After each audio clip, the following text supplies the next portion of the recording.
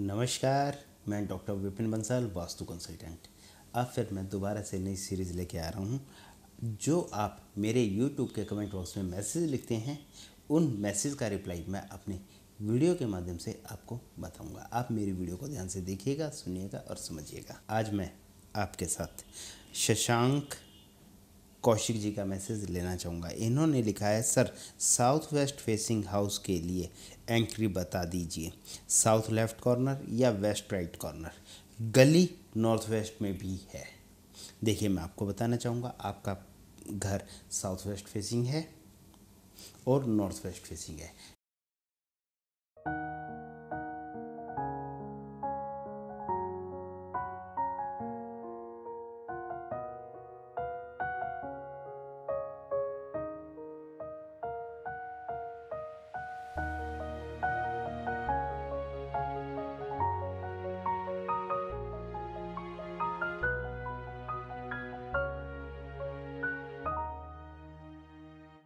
यदि पॉसिबल हो तो आप अपने घर की एंट्रेंस नॉर्थ वेस्ट जोन में करें। नॉर्थ वेस्ट की गली से करें। वहाँ पर गेट आप नॉर्थ कॉर्नर से लगाएँगे तो उसका फ़ायदा आपको और आपके परिवार को मिलेगा। क्यों मिलेगा? मेरी बात को ध्यान से सुनिएगा, समझिएगा। मैं हमेशा ही आपको वास्तुशास्त्र के साथ साथ अपने अनुभव की खास बातें बताता हूँ और लॉजिक के साथ बातें बताता हूँ। जैसे आपका घर नॉर्थ वेस्ट कॉर्नर और साउथ वेस्ट कॉर्नर है।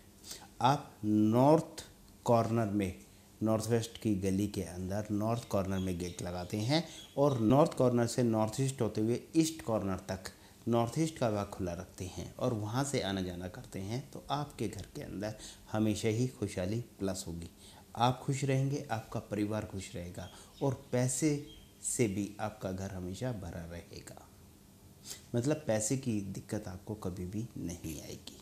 अब बात करते हैं कि आपका घर साउथ वेस्ट फेसिंग भी है और आपने पूछा कि हम अपना गेट साउथ कॉर्नर में लगाएँ या वेस्ट कॉर्नर में लगाएँ।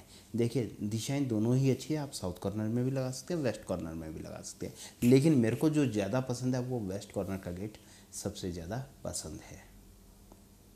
वहाँ पर गेट लगाने से आपके घर की एंट्रेंस बहुत अच्छी हो जाती है और वहाँ से जब आप एंट्री करते हैं तो आपका पूरा ड्राइवे नॉर्थ वेस्ट जोन में आ जाता है। और आपके घर की जो एंट्रेंस बनती है, वो भी नॉर्थ वेस्ट जोन से बनती है।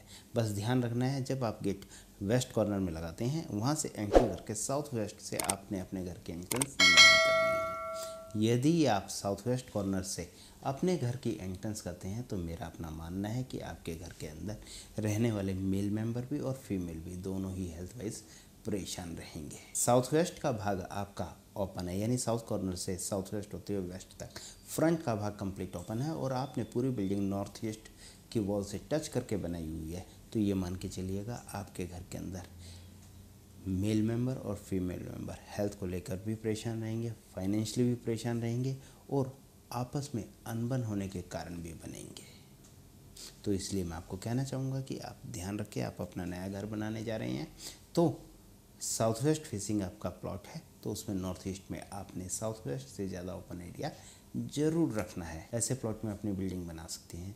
देखिए, जो गली नॉर्थ ईस्ट फेसिंग और साउथ वेस्ट फेसिंग प्लॉट की है तो उसमें घर तो सारे ही बनेंगे। कोई ना कोई व्यक्ति तो उस घर के अंदर रहेगा, उस प्लॉट के अंदर बिल्डिंग बनाकर रहेगा। आप के हिस्से में ऐसी जगह आ रही है और आपकी अपनी मजबूरी है कि ऐसी जगह आपको अपना घर बनाना है तो आप ध्यान रखें साउथ वेस्ट के मुकाबले नॉर्थ ईस्ट का एरिया ज़्यादा रखें। ऐसा करने से आपको रिज़ल्ट बेहतर ज़रूर मिलेंगे। मेरे द्वारा इस वीडियो में दी गई जानकारी आपको लगता है सही है तो आप अपने यहाँ पर छोटे छोटे बदलाव करके अच्छे रिज़ल्ट भी प्राप्त कर सकते हैं।